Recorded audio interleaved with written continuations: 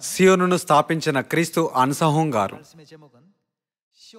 అనే పేరు గల దేవుని వాక్యములను పంచుకోవాలనుకుంటున్నాను.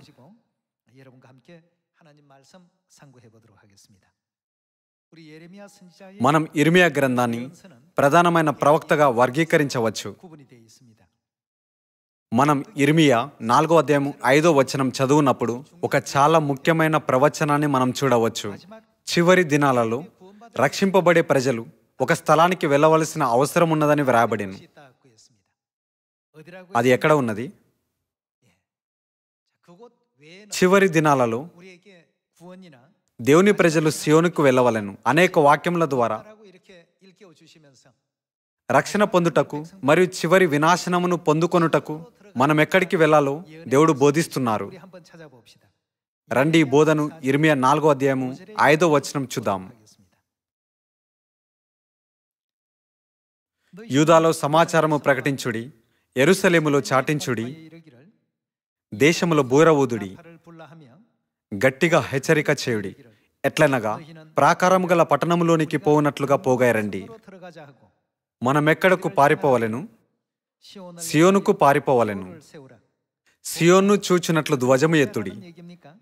పారిపోయి తప్పించుకొనుటకు ఆలస్యము చేయకుడని చెప్పుడి. యహోవనగు నేను ఉత్తర దిక్కు నుండి కీడును రప్పించుచున్నాను. గొప్ప నాశనమును రప్పించుచున్నాను.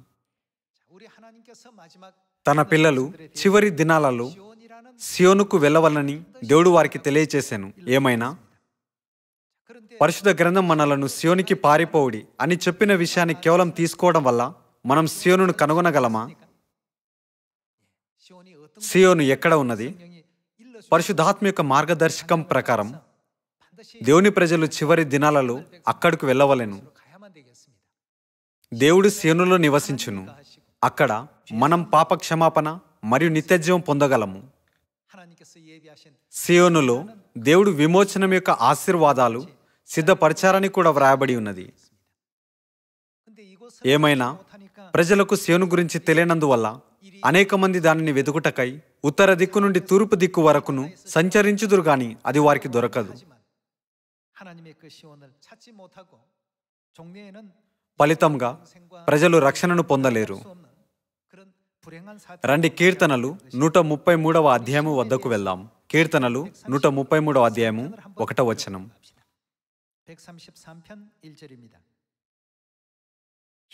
సహోదరులు ఐక్యత కలిగి నివసించుట ఎంత మేలు ఎంత మనోహరము.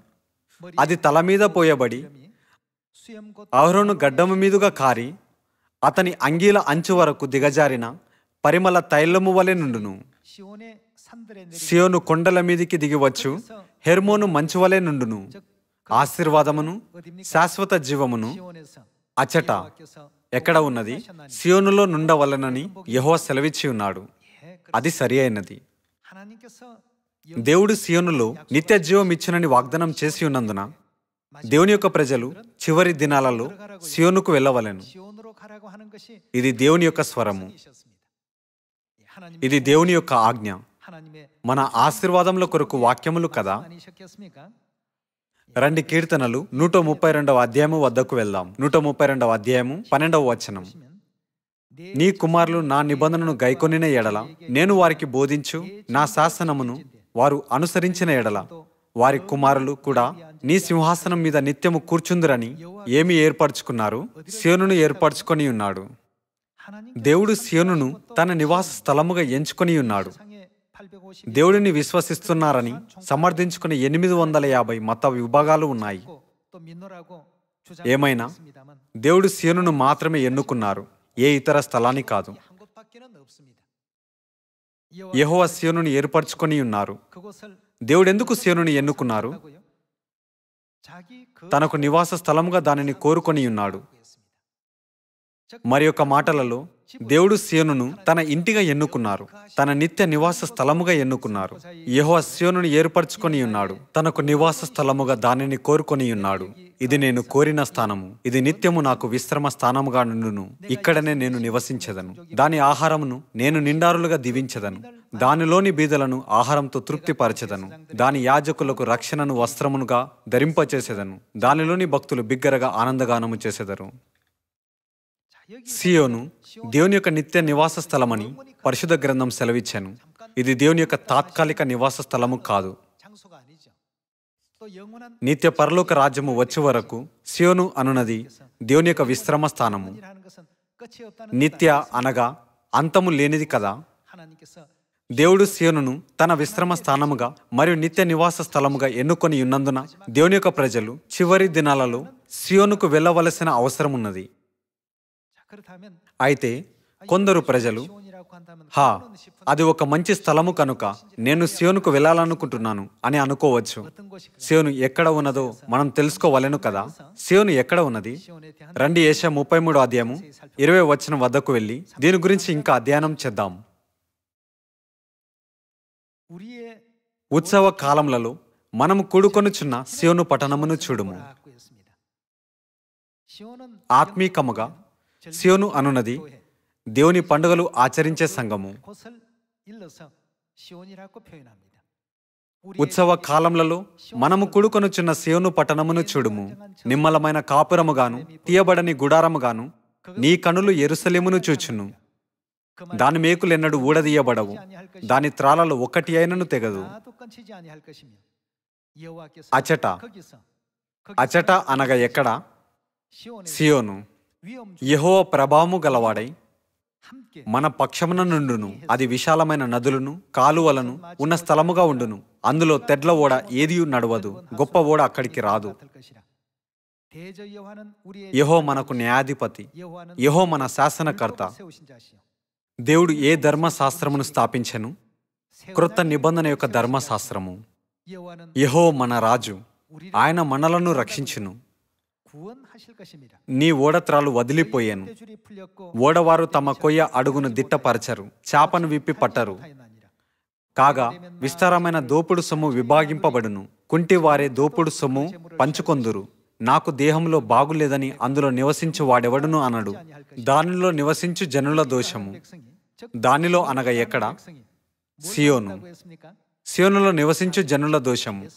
ఏమిటి? పరిహరింపబడును. దేవుడు శివునులో నివసించు వారి పాపములను పరిహరించి వారికి రక్షణను అనుగ్రహించును అని వ్రాయబడెను.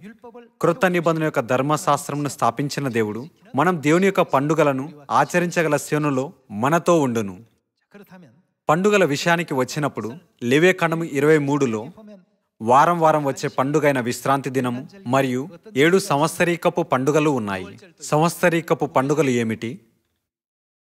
పస్కా పులియని రొట్టెల పండుగ ప్రథమ పలముల పండుగ వారముల పండుగ అనగా పెంతకోస్తు పండుగ శృంగధ్వని పండుగ ప్రాయశ్చితార్థ దినము మరియు పర్ణశాలల పండుగ. ఇవి దేవుడు మన కొరకు స్థాపించిన పండుగలు. ఏమైనా? ఈ లోకంలో అనేక మత విభాగాలు ఉన్నప్పటికీ ఎవరు పండుగలను ఆచరించరు? అది ఆశ్చర్యంగా లేదా? ఏమైనా? ఈ పండుగలన్నిటినీ ఆచరించే ఒక సంఘమును మన దేవుడు స్థాపించారు. ఆ సంఘం యొక్క పేరు దేవుని సంఘము. ఈ భూమిపై మూడు మార్ల ఏడు పండుగలను మరియు విశ్రాంతి దినంను ఆచరించే ఒకే ఒక సంఘము దేవుని సంఘము.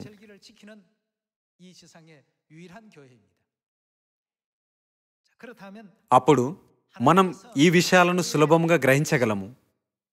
దేవుడు ఏ విధమైన సంగముతో ఉంటారు? నిత్యజీవము మరియు పాప క్షమాపణ పొందుకొనుటకు మనం ఎక్కడకు వెళ్ళవలను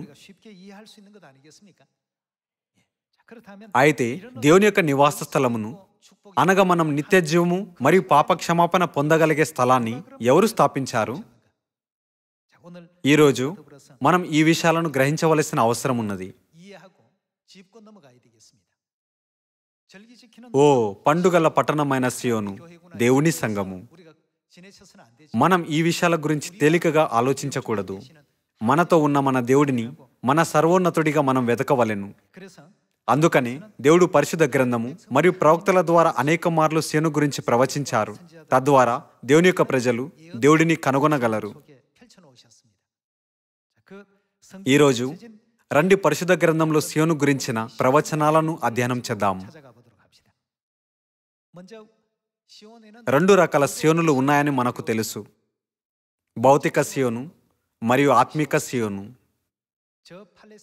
భౌతికంగా సియోను అనున్నది ఇజ్రాయేలీలు నివసించే పాలస్తీనాలో ఉన్నది.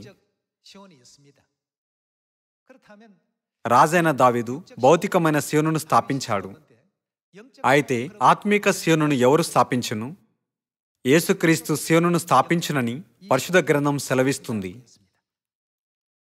రండి ఆ విషయాన్ని ఎహెస్కేలు ముప్పై ఏడవ అధ్యాయము వద్దకు వెళ్ళి నిర్ధారించుకుందాము ఎహెస్కేలు ముప్పై ఏడవ అధ్యాయము ఇరవై నాలుగు వచనము. నా సేవకుడైన దావిదు వారికి రాజవును వారికందరికీ కాపరి ఒక్కడే ఉండును. వారు నా విధులను అనుసరింతురు నా కట్టడలను గైకొని ఆచరింతురు. మీ పితరులు నివసించినట్లు నా సేవకుడైన యాకోబునకు నేనిచ్చిన దేశంలో వారు నివసింతురు. వారు పిల్లలను వారి పిల్లల పిల్లలను అక్కడ నిత్యము నివసింతురు. నా సేవకుడైన దావిదు ఎల్లకాలము వారికి అధిపతేయుండును. ప్రవక్త అయిన ఏస్కేలు ఈ ప్రవచనమును వ్రాసినప్పుడు శరీరక దావిదు రాజు అప్పటికే చాలా కాలం క్రితం మరణించాను. ఏమైనా? దేవుడు నా సేవకుడైన దావిదు రాజుగా నుండును అని చెప్పాను. ఈ వచనంలో రాజైన దావిదు శరీరక రాజును సూచించదు. రాజైన దావిదు నామంలో వచ్చే ప్రవచనాత్మక వ్యక్తి గురించి దేవుడు మనకు ప్రవచనం ద్వారా చూపించారు. రాజైన దావిదు నిత్యము పాలించునని పరిశుద్ధ గ్రంథం వివరిస్తుంది. అయితే ఏస్కెల్ ముప్పై ఏడవ అధ్యాయంలో నా సేవకుడైన దావిదు ఎవరు? రండి లూక ఒకటవ అధ్యాయము ముప్పై ఒకటవ వచనం వద్దకు వెళ్ళి సమాధానము కనుగొందాం. లూక ఒకటవ అధ్యాయము ముప్పై ఒకటవ వచనము. ఇదిగో నీవు గర్భము ధరించి కుమారుని కని ఆయనకు యేసు అను పేరు పెట్టుదువు. ఆయన గొప్పవాడై సర్వోన్నతుని కుమారుడనబడును. ప్రభు అయిన దేవుడు ఆయన తండ్రి అయిన దావిదు సింహాసనమును ఆయనకిచ్చును. ఆయన ఏమి చేయును? యాకోబు వంశస్థులను యుగ యుగములు ఏలును. ఆయన రాజ్యము అంతము లేనిదయ్యుండునని ఆమెతో చెప్పాను. ఇది యేసు యొక్క పుట్టుక గురించి. గబ్రియేలను దూత ప్రత్యక్షమై ఈ ప్రవచనాన్ని సాక్ష్యమిచ్చాను. గబ్రియేలను దూత ఆయన దావిదు సింహాసనమును అధిష్ఠించును మరియు ఆయన యాకోబు ఇంటిని నిత్యము పాలించును అని చెప్పాను. ఈ విధంగా దేవుడు ఏస్కెలు ముప్పై ఏడులోని ప్రవచనంను నెరవేర్చారు. భౌతిక దావిదు మరియు ఆత్మీక దావిదు. భౌతిక రాజైన దావిదు భౌతిక శివును స్థాపించాను. కాబట్టి మనం ఆత్మీక దావిదు ఆత్మిక శివును స్థాపించునని దృఢంగా విశ్వసించవలెను.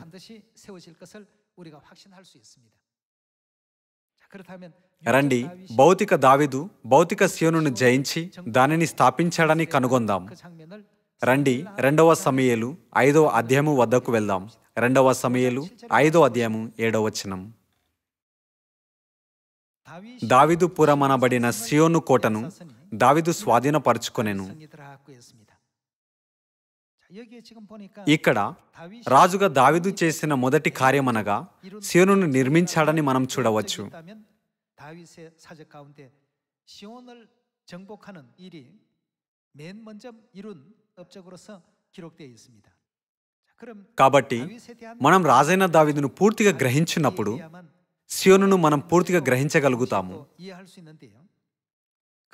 భౌతిక దావిదు భౌతిక సియోనును స్థాపించను. ఇది ఆత్మిక దావిదు అయిన యేసుక్రీస్తు మనం దేవుడి పండుగలు ఆచరించగలిగే ఆత్మిక సియోనును స్థాపించునని సూచించును. మీరు ఏషయా ముప్పై మూడో అధ్యాయము ఇరవై వచనం చూసినప్పుడు ఇలా వ్రాయబడేను. సియోను అనున్నది మనం దేవుని పండుగలను ఆచరించగలిగే స్థలము. దావిదు సియోను స్థాపించాను. అనగా యేసు మనం దేవుని యొక్క పండుగలను ఆచరించగల స్థలాన్ని స్థాపించారని దీని అర్థం. రండి యేసు దేవుని యొక్క క్రొత్త నిబంధన పండుగలను ఎలా స్థాపించారో క్లుప్తంగా కనుగొందాం. రండి మత్త ఇరవై ఆరో అధ్యాయము పదిహేడో వచనం వద్దకు వెళ్దాం. పులియని రొట్టెల పండుగలో మొదటి దినమందు శిష్యులు ఏసునొద్దకు వచ్చి పస్కాను భుజించుటకు మేము నీ కొరకు ఎక్కడ సిద్ధపరచగోరుచున్నావని అడిగిరి. అందుకాయన మీరు పట్టణమందున్న పలానా మనిషిని యొద్దకు వెళ్ళి నా కాలము సమీపమై ఉన్నది. నా శిష్యులతో కూడా నీ ఇంట పస్కాను ఆచరించదనని బోధకుడు చెప్పుచున్నాడని అతనితో చెప్పుడ నేను మూడు మార్ల ఏడు పండుగలలో పస్కా మొదట వచ్చును. ఏసు పస్కాను ఆచరించారు. మరియు పస్కా దినమందు క్రొత్త నిబంధనను స్థాపించారు. రండి యోహాను ఏడవ అధ్యాయము వద్దకు వెళ్దాం. యోహాను ఏడవ అధ్యాయము రెండవ వచనము. యూదుల పర్ణశాల పండుగ సమీపించను. కనుక ఆయన సహోదరులు ఆయనను చూచి మీరు పద్నాలుగో వచనం చూసినప్పుడు అది సగము పండుగ జరిగినని మనం చూడవచ్చు. మీరు ముప్పై ఏడవ వచనం చదువునప్పుడు ఆ పండుగలో మహాదినమైన అంత్యదినమున ఎవరైనా దప్పిక గొనిన ఎడల నా యొద్దకు వచ్చి దప్పిక తీర్చుకొనవలెను అంటూ యేసు పర్ణశాల పండుగ ఆచరించడం మనం చూడవచ్చు. అపోస్తుల కార్యము రెండవ అధ్యాయము ఒకట వచనంలో ఇలా వ్రాయబడెను. పెంతకోస్తను పండుగ దినము వచ్చినప్పుడు అందరూ ఒకచోట కూడియుండిరి. పెంతకోస్తు అనగా పాత నిబంధన సమయాలలో వారముల పండుగ. ఏడు గుణాంకం ఏడు నలభై తొమ్మిది. వారముల పండుగ అనున్నది నలభై తొమ్మిది రోజుల తర్వాత దినమున వచ్చును. అందుకనే అది వారముల పండుగ అని పిలువబడెను. క్రొత్త నిబంధన సమయాలలో ఈ పండుగ పెంతె కోస్తు అని పిలువబడును. తొలినాటి సంఘ పరిశుద్ధులు యేసు యొక్క చిత్తమును పాటిస్తూ ఈ పండుగలన్నిటినీ ఆచరించారు. పస్కా పులియని రొట్టెల పండుగ పెంతె కోస్తు మరియు వారముల పండుగ. ఇవి పరిశుద్ధ గ్రంథంలో ఉన్న పండుగలు. యేసు మరియు ఆయన యొక్క శిష్యులు ఈ పండుగలను సానుకూలంగా ఆచరించారు. వారు విశ్రాంతి దినమును కూడా ఆచరించారు. ఏమైనా? పరిశుద్ధ గ్రంథంలోని ప్రవచనాల ప్రకారం మనం దేవుని యొక్క పండుగలు ఆచరించే సియోను నిర్మూలించబడును. రండి. దానిలు గ్రంథం ఏడవ అధ్యాయము వద్దకు వెళ్ళి దీనిని నిర్ధారించుకుందాం. దానియలు ఏడవ అధ్యాయము ఇరవై ఐదో వచనము. ఆ రాజు మహోన్నతునికి విరోధంగా మాటలాడుచు ఇక్కడ మహోన్నతుడు అనగా దేవుడిని సూచిస్తుంది కదా? దేవునికి విరోధంగా మాట్లాడువాడు సాతాను. సాతను మహోన్నతునికి విరోధంగా మాట్లాడును. మహోన్నతుని భక్తులను నలగగొట్టును. ఇంకా ఏమిటి? అతడు పండుగ కాలములను న్యాయ పద్ధతులను నివారణ చేయబోనుకొను వారు ఒక కాలము కాలములు అర్ధకాలము అతని వశమున నుంచబడుదురు. అతడు పండుగ కాలములను న్యాయ పద్ధతులను నివారణ చేయబూనుకొనను. అనగా అతడు దేవుడి పండుగలను కొట్టివేయునని దీని అర్థం.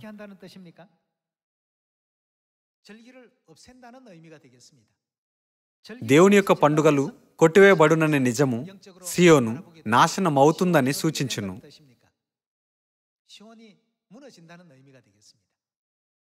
సియోను అనున్నది మనం దేవుని యొక్క పండుగలు ఆచరించే స్థలము. ఏమైనా? పండుగలు కొట్టివేయబడును. అనగా ఆత్మిక శివును నాశన మగునని దాని అర్థం.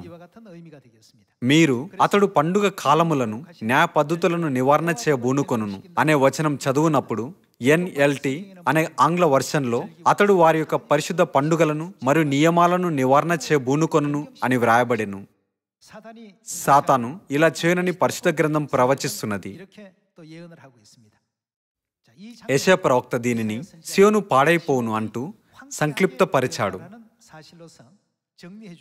రండి యశే యాభై ఒకటో అధ్యాయము మూడవ వచనము వద్దకు వెళ్దాం. యహోవ సియోను ఆదరించుచున్నాడు. దాని పాడైన స్థలములన్నిటినీ ఆదరించి ఆత్మీకముగా దేవుని యొక్క పండుగలు కొట్టివేయబడునని దీని అర్థం.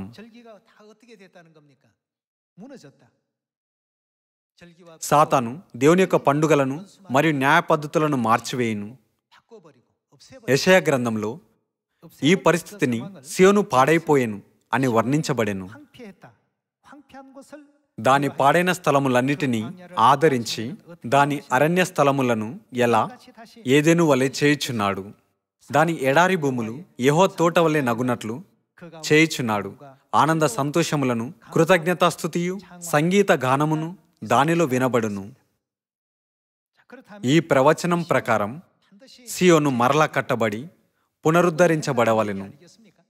సాతాను దేవుని యొక్క పండుగలను నిర్మూలిస్తూ పండుగ కాలములను న్యాయ పద్ధతులను మార్చివేసినది. దేవుని యొక్క పండుగలు నిర్మిలించబడునని నిజమునకు సియోను నాశనమగునని అర్థం.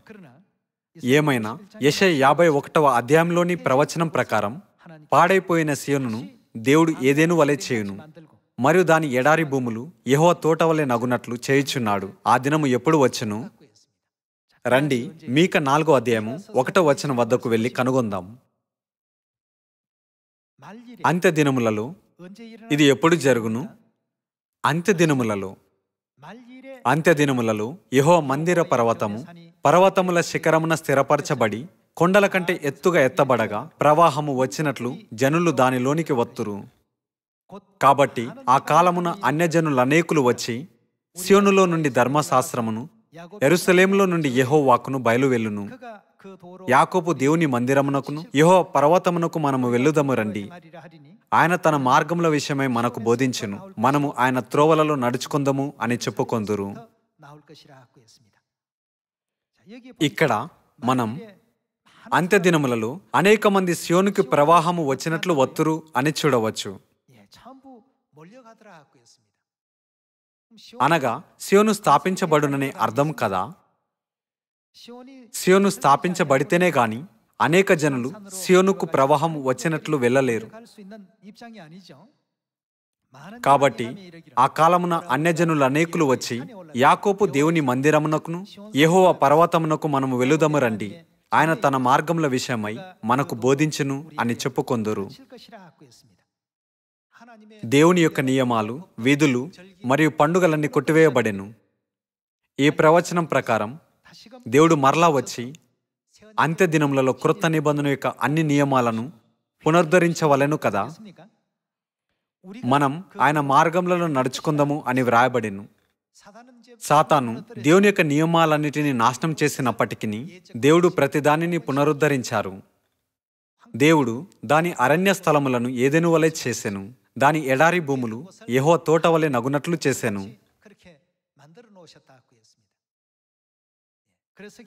దేవుని యొక్క ప్రతి పండుగ కొట్టివేయబడిను. ఏమైనా? మీక ప్రవక్త ద్వారా క్రొత్త నిబంధన యొక్క పండుగలన్నీ దేవుని చేత పునరుద్ధరించబడునని దేవుడు ప్రవచించారు. కీర్తనల యొక్క రచయిత దీని గురించి దేవుడు వచ్చి పాడైపోయిన సియోనును మరలా కట్టును అంటూ స్పష్టంగా వివరించారు. రండి కీర్తనలు నూట రెండవ అధ్యాయము ఒకటో వచనం వద్దకు వెళ్దాం. యహువా నా ప్రార్థన ఆలకింపుము. నా మొరని యుద్ధకు చేరనిము నా కష్టదినమున నాకు విముఖుడవై ఉండకుము. నాకు చెవియొగ్గుము. నేను మురళీడు నాడు త్వరపడి నాకుత్తరమిమ్ము రండి పన్నెండవ వచనం వద్దకు వెళ్దాం. యహోవా నీవు నిత్యము సింహాసనసీనుడవు. నీ నామస్మరణ తరతరములుండును. నీవు లేచి సీనును కర్ణించెదవు. దానిమీద దయచూపుము. కాలము వచ్చెను నిన్నే కాలమే వచ్చెను. దాని రాళ్ళు నీ సేవకులకు ప్రియములు వారు దాని మంటిని కనికరించుదురు. అప్పుడు అన్యజనులు యహో నామమునకును భూరాజులందరూ నీ మహిమకును భయపడెదరు. ఏలైనగా యహోవా ఏమి కట్టి ఉన్నాడు సియోనును ఎవరు సియోనును మరలా నిర్మించును?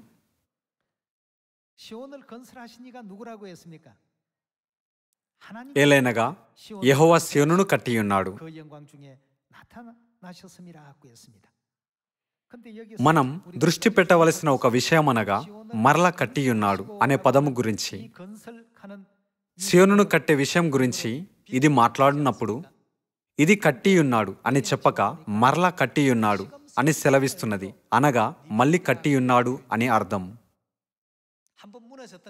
ఒక్కసారి నాశనమైపోయిన సియోనును దేవుడు పునరుద్ధరించును గనుక కట్టియున్నాడు. బదులుగా మరల కట్టియున్నాడు అని వ్రాయబడిను. రండి కీర్తనలు ఎనభై ఏడవ అధ్యాయము వద్దకు వెళ్దాం. కీర్తనలు ఎనభై ఏడవ అధ్యాయము ఐదో వచనం. ప్రతి జనము దానిలోనే జన్మించననియు సర్వోన్నతుడు తానే దాన్ని స్థిరపరచననియు శివును గురించి చెప్పుకొందురు. యహోవా జనముల సంఖ్య వ్రాయించినప్పుడు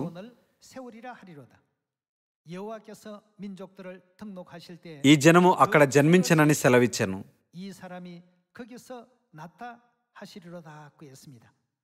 ఈ వచనంలో సర్వోన్నతుడు ఎవరు దేవుడే స్వయంగా సియోన్ను స్థాపించను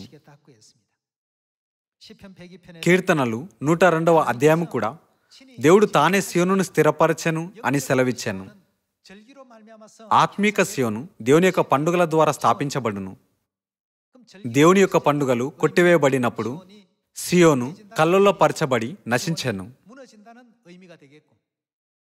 వచ్చి సియోను మరల నిర్మించు వారి గురించి పరిశుద్ధ గ్రంథం ఏమని సెలవిస్తుంది?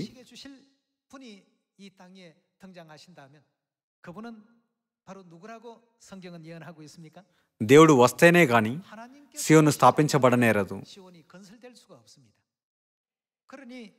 ఈ రోజులలో మన చుట్టూ సముద్ర తీరంన గల ఇసుక వలె అనేక సంఘాలు మరియు మత విభాగాలు ఉన్నాయి. మూడు మార్ల ఏడు పండుగలు ఆచరించే సంఘము ఏదైనా ఉన్నదా? క్రొత్త నిబంధన యొక్క పండుగలను ఆచరించే సంఘము ఏదైనా ఉన్నదా? మనమెందుకు దానిని కనుగొనలేము? ఎందుకనగా దేవుడు ఆ సంఘాలను స్థాపించలేదు. దేవుడు శివును స్థాపించుట కొరకు ఏ విధమైన సత్యమును ఆయన తీసుకురావలేను? ఆయన కృత నిబంధన యొక్క పండుగలను తీసుకురావాలను. పండుగలు లేకుండా శివను స్థాపించబడనేరదు. పండుగలు పునరుద్ధరించబడినప్పుడు మాత్రమే శివను స్థాపించబడగలదు. రెండు వేల సంవత్సరాల క్రితం దేవుడు కృత నిబంధన యొక్క పండుగలను స్థాపించారు. ఏమైనా అది దేవుని యొక్క శత్రు అయిన సాతాను చేత నశింపబడెను. దేవుడు పండుగలన్నిటినీ పునరుద్ధరించునని పరిశుద్ధ గ్రంథం సెలవిస్తుంది. ఈ రోజులలో ఒకసారి నశించిన విశ్రాంతి దినము పస్కా మరియు మూడు మార్ల ఏడు పండుగలు పునరుద్ధరించబడెను. దాని అర్థం ఏమిటి? వీటన్నిటిని ఎవరు పునరుద్ధరించారు? దేవుడు వాటన్నిటిని పునరుద్ధరించారు. ఈ చివరి దినాలలో విశ్రాంతి దినము పస్కా పులియని రొట్టెల పండుగ ప్రథమ ఫలముల దినము మరియు పర్ణశాల పండుగ గురించి శివను పిల్లలందరికీ ఎవరు బోధించారు?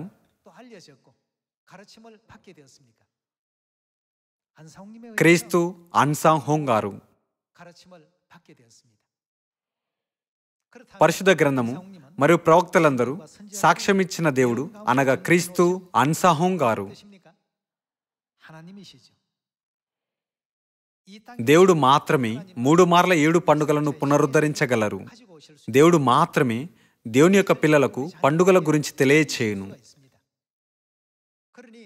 మన చుట్టూ అనేక సంఘాలు మరియు మత పండితులు ఉన్నారు. యేసు సమయం నుండి ఇప్పటి వరకు వేలాది సిద్ధాంతాలు సృష్టించబడెను కదా? ఏమైనా? మత పండితుడు లేదా మత వాదన ఏదైనా ఉన్నదా?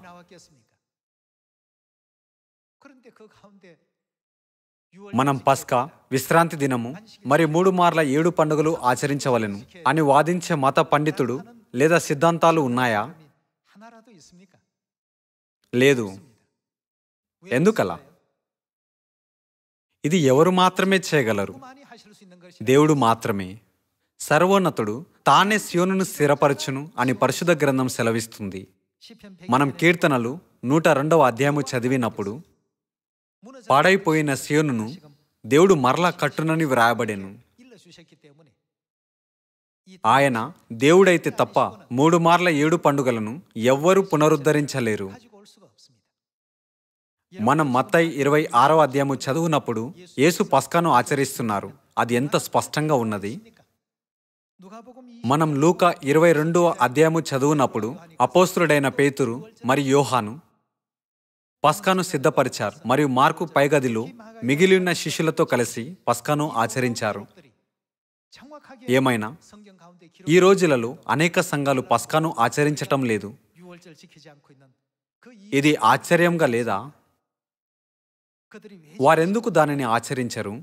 ఎందుకనగా వారు నిజమైన దేవుడిని అంగీకరించరు. క్రీస్తు శకం మూడు వందల ఇరవై ఐదులో కౌన్సిల్ ఆఫ్ నైసియా అనే చట్టసభ ద్వారా పస్క కొట్టివేయబడెను. దాని తర్వాత పస్కాను ఆచరించిన ప్రజలను సంఘాలు ఖండించాయి. ఆ సమయంలో ఉన్న ప్రభుత్వ చట్టము ప్రజలను పస్కా ఆచరించకుండా అడ్డుకునేను. ప్రజలు విశ్రాంతి దినమును ఆచరించకుండా అడ్డుకునేందుకు చట్టాలు చేయబడెను. ఈ విధముగా దేవుని యొక్క ధర్మశాస్త్రము ఒక్కొక్కటిగా నాశనం చెందెను. పండుగలన్నీ నశించిపోయాను. దేవుడు మనలను సియోనుకు వెళ్ళవలనని అడిగారు మనకు ఈ ప్రవచనం గురించి తెలిసినను సియోను స్థాపించబడితేనే గాని మనమెలా అక్కడికి వెళ్ళగలము ఎవరో వచ్చి సియోను స్థాపించవలెను పరిశుద్ధ గ్రంథంలోని ప్రవచనముల ప్రకారం సియోను ఎవరు స్థాపించగలరు అది దేవుడు మాత్రమే ఈ రోజులలో మనం సియోనులో దేవుని పండుగలను ఆచరిస్తున్నాము. దాని అర్థం ఏమిటి? మనతో ఎవరు ఉన్నారు? దేవుడు రావలను మరియు మూడు మార్ల ఏడు పండుగలను మరియు విశ్రాంతి దినమును పునరుద్ధరించవలను.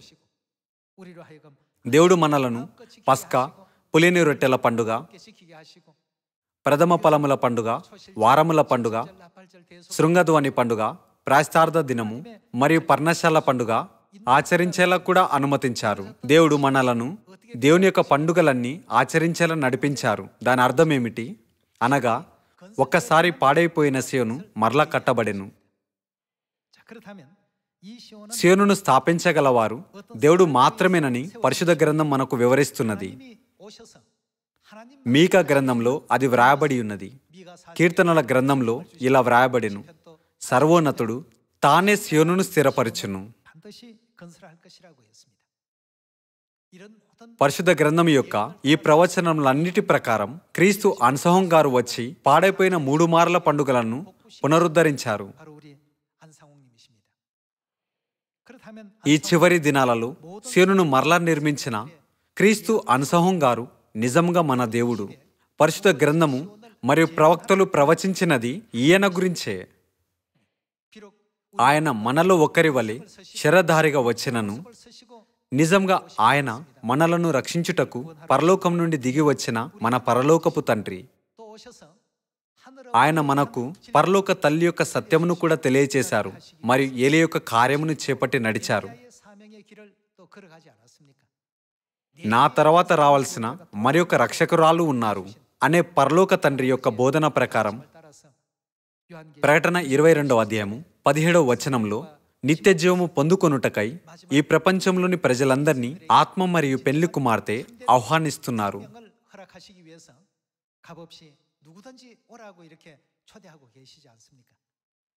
మనం ఈ ఆహ్వానమును అంగీకరించాము. ఫలితంగా మనం ఇప్పుడు ఎక్కడ ఉన్నాము? మనం సియోనులో ఉన్నాము. మన రక్షణ యందు మనం ఆత్మవిశ్వాసమును కలిగి ఉండటం మనకు మంచిది. మనం దేవుని యొక్క పండుగలు ఆచరించగల పరిశుద్ధ పర్వతమైన ఈశ్వనులు పరలోక తండ్రి క్రీస్తు అన్సహం గారికి ధన్యవాదములు. ఘనత మరియు మహిమ చెల్లిద్దాం. మనలను రక్షించుటకు పరిశుధాత్మ యొక్క పెళ్ళి కుమార్తెగా ఈ భూమిపైకి వచ్చిన మన నూతన ఎరుసలేము పరలోకపు తల్లికి కూడా ధన్యవాదములు ఘనత మరియు మహిమ చెల్లిద్దాం. రండి తండ్రి మరియు తల్లి యొక్క సాక్షులుగా మారుదాం మరియు సకల జనులకు వారి గురించే అతిశయిద్దాం. సాక్షులు మౌనంగా ఉన్నప్పుడు ఎవరు ప్రభావితం అవుతారు సాక్షులను నియమించిన వారు ప్రభావితం అవుతారు కోర్టులో వాదులు మరియు ప్రతివాదులు ఉంటారు. వారిని రక్షించగలిగే ఒక సాక్షిగా వాదులు ఎవరినైనా నియమించును. అందుకనే ఏషయ అరవై రెండవ అధ్యాయము ఎరుసలేము మహిమను ప్రకటించుటకు రేయైన పగలైన మౌనంగా ఉండకుడి అని సెలవిస్తుంది. మనం పొంది కృపను మనం ప్రజలకు తెలియచేయవలసిన బాధ్యతను కలిగి ఉన్నాము. మనం వారికిలా బోధించవలెను. శివుని ఎక్కడ ఉన్నది? మరియు సేవను ఎవరు స్థాపించారు? మన రక్షణ నిమిత్తం మనతో ఉన్న పరిశుద్ధాత్మ యొక్క పెళ్ళి కుమార్తె అయిన నూతన ఎరుసలేము పరలోకపు తల్లి గురించి బోధించవలెను. రండి మనం ఇలా ప్రజలందరికీ ప్రకటిద్దాం. ఈనాటి ఉపదేశమును ముగిస్తున్నాను. చాలా ధన్యవాదములు. దేవుడు మిమ్మల్ని దివించునుగాక.